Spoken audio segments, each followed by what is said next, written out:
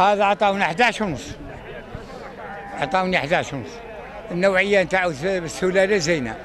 النوع الزينه نتاع الكبش راه من 20 فوق. النوع الزينية اللي تحوس عليه.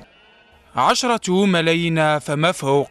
هكذا كانت أسعار الكباش في الأسواق أسابيعا قبل عيد الأضحى.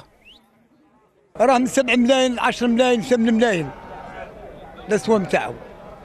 ولكن الناس ما يستهلك به كامل مخلي المال الكل راهم كامل ما مساكين فيه الناس راه تخدم راه تشري تشري وتبيع لاباس.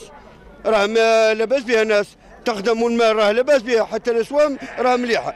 صح اذا كان يدعموا المواله ويديروا لهم أسعار نتاع النخاله تعود من 180 حتى ل 200 لاباس بها إقبال متوسط وأسعار غير ثابتة أرجعها الموالون إلى غلاء الأعلاف.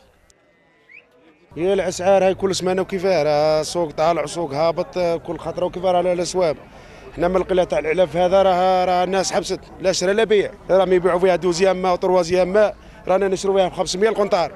الشعير رانا نشرو فيه ب 700 القنطار قال لك تعطي لهم الدولة فيها تخرجها بالعملة الواقعة وهم برا كاينين البزبز هذوك يضربوا فيها ب 400 ب 500 الكيلو مخالة عينة وقفنا عليها أيام قبل العيد ليبقى المواطن على أمل في تراجع ثمن الأضحية.